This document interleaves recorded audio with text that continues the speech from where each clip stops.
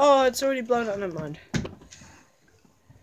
Let's see what it takes for him to break it. Give him a He can't break it. Come on, Spock. Give it a good bite. Look at his face. He's like, what happened? He's like, what What have you done, happened? Spock? He's like, what happened? What have you done? It's like, What an anticlimax. he was having a good time there. We put- He couldn't get it. going. I don't think it's on camera.